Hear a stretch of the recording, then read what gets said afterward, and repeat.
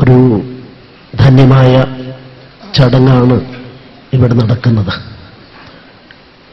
ഒരു മനോഹരമായ സായാഹ്നം പ്രകൃതിരമണീയമായ ഒരു പ്രദേശം ക്രാന്തദർശിയായ കാന്തപുരം അബൂക്കർ മുസലിയാർ തലമുറകളെ മുന്നിൽ കണ്ടുകൊണ്ട് ഒരു മഹാസംരംഭത്തിന് തുടക്കം കുറിക്കുന്നു.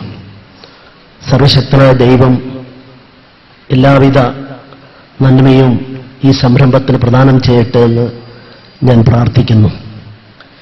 ഞാനും അദ്ദേഹവുമായിട്ട് പത്ത് പതിനഞ്ച് കൊല്ലത്തെ ബന്ധമുണ്ട്.